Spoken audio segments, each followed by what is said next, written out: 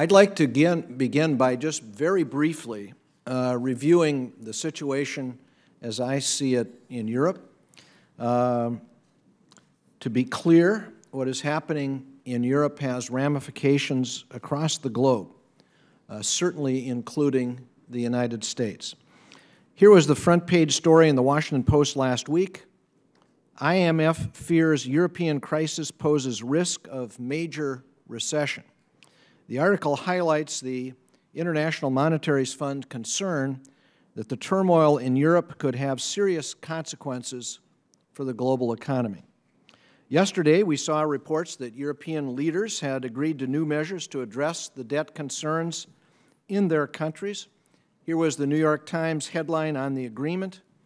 European leaders agree to new measures to enforce budget discipline. Most economists believe the Eurozone is already in recession. We can see the blue chip forecast shows Eurozone economic growth falling from anemic 1.6 percent in 2011 to a negative uh, four tenths of 1% in 2012. The threat to the U.S. economy is clear. Here's how economist Alan Blinder, the former vice chairman of the Federal Reserve, described the situation in his testimony before the Budget Committee last week. My rough outlook for U.S. GDP growth in calendar year 2012 is about 2.5%.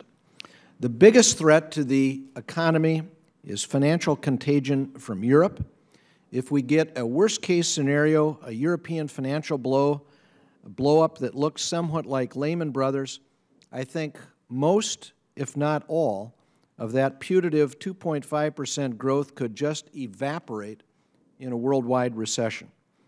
I hope people are listening. If Europe implodes, the risk to our economy is serious. We need to remember that almost one quarter of U.S. exports go to our European trading partners. So what happens to the European economy could have a very real impact on U.S. manufacturers and U.S. workers.